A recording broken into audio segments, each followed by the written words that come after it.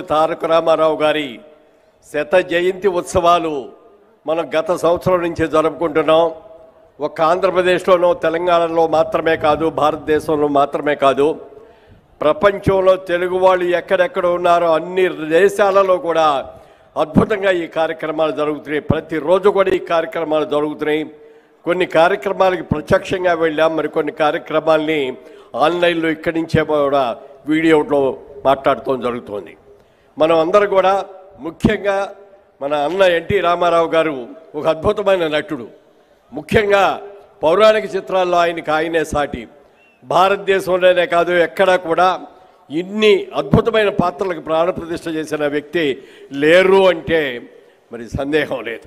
అలాంటి మహనీయుడు రాముడు పాత్ర వేసిన రావణాసురుడి పాత్ర వేసిన కృష్ణుడి పాత్ర వేసిన భీముడి పాత్ర వేసిన భీష్ముడి పాత్ర వేసిన దుర్యోధనుడి పాత్ర వేసిన ఆయనే వేయాలి అనేటువంటి మహనీయుడు శ్రీ ఎన్టీ రామారావు గారు. నేను సినిమా ఇండస్ట్రీకి వచ్చిన కొత్తలో. వారితో బాలేబాబుతోనూ ఇద్దరితో కలిసి అన్నదమ్ముల అనుబంధం అనే చిత్రంలో ముగ్గురు అన్నదమ్ములుగా నేను మధ్యవాడిగా చేసే అదృష్టం నాకు కలిగింది. నిజంగా ఆ షూటింగ్ పూర్తయ్యే వరకు కూడా నేను ఎక్కడో స్వర్గలోకంలో ఉన్నానేమో అని అనిపించేది. అంత ఆనందంగా ఉండేది. ఆ సినిమా ఎంత విజయవంతమైందంటే అప్పట్లో నేను అప్పుడే కొత్తగా పైకి వస్తున్న సందర్భంగా నా పేరు కూడా తెలియక ఎన్టీఆర్ తమ్ముడు రా ఎన్టీఆర్ తమ్ముడు రా అనేవారు.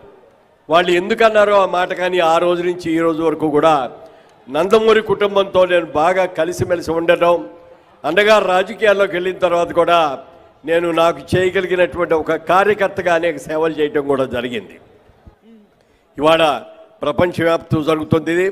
ముఖ్యంగా అనేక సందర్భాల్లో పార్లమెంట్లో కానీ అనేక సభల్లో కానీ ఇంత ఖ్యాతి గడించిన నందమూరి తారక రామారావు గారికి భారతరత్న బిరుదు ఇవ్వకపోవటం మాత్రం శోచనీయంగా మేమందరం ఫాలి ఫీల్ అవుతున్నాం.